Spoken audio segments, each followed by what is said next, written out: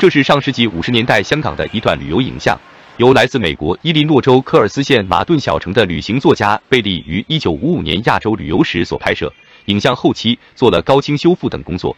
与平常人旅游多记录风景名胜不同的是，贝利很大篇幅是将镜头聚焦在普通民众身上，记录当地人民的文化习俗、日常生活以及爱好等等。这也为我们了解近七十年前的香港民众活动提供了一定的参考。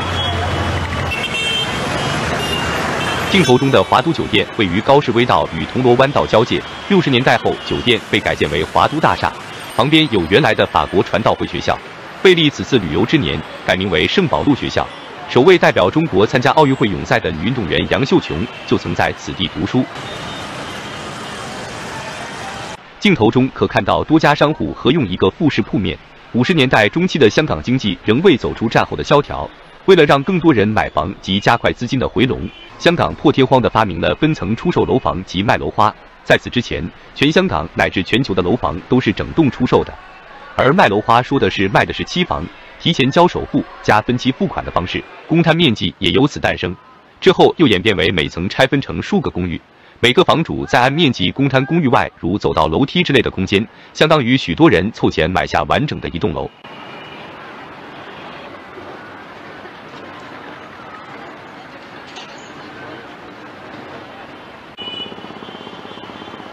这是贝利在香港街道附近拍摄的镜头。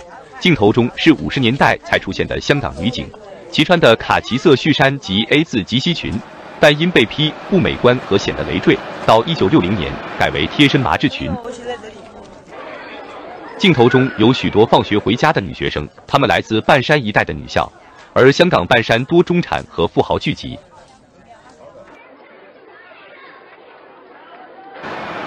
这是贝利在皇后大道东拍摄的镜头。镜头中行人稀疏，漫步从容，与今日的坚摩接踵有着天渊之别。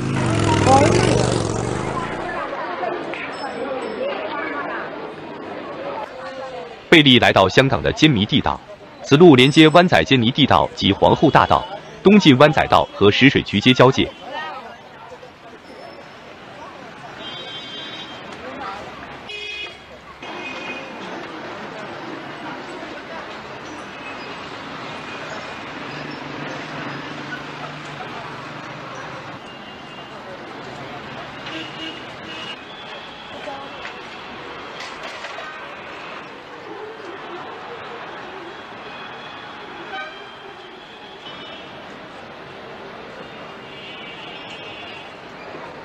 现在贝利来到旧湾仔街市一带，镜头中能看到建于1937年的第二代旧湾仔街市。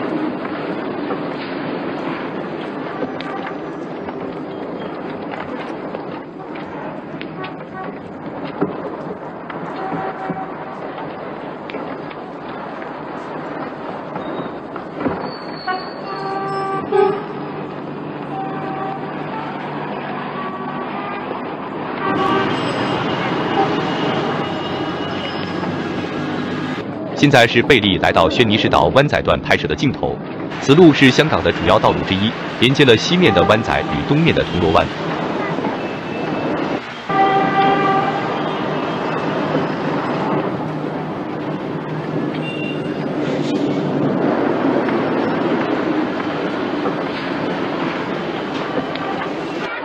现在贝利在大坑道旁的虎豹别墅万基油花园下面的市场拍摄。周边也有依山而建的平民木屋。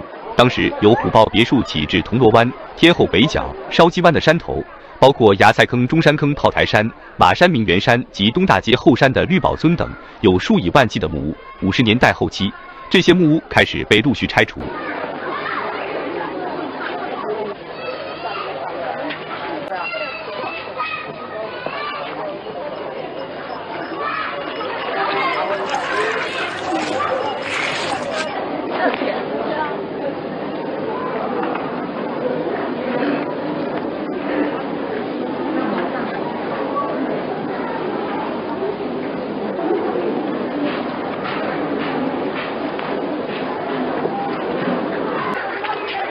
最后，贝利来到靠近香港市区的一个渔村。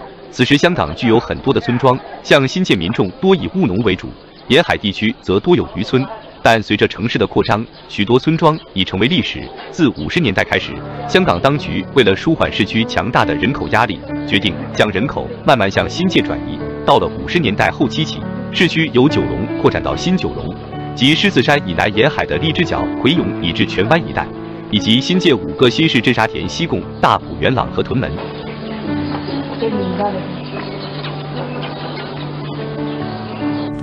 时至今日。近七十年光阴如白驹过隙，镜头中的孩童也已到了古稀之年。香港也回归中国二十五周年，且日益繁盛。本地生产值从一九九七年到二零二一年，由一点三二万亿港元增长到二点八七万亿港元，人均 GDP 从十九点二万港元增长到三十八点七万港元，进出口总额则从三点零七万亿港元增长到十点二七万亿港元。正所谓风好正是扬帆时，奋楫逐浪向未来。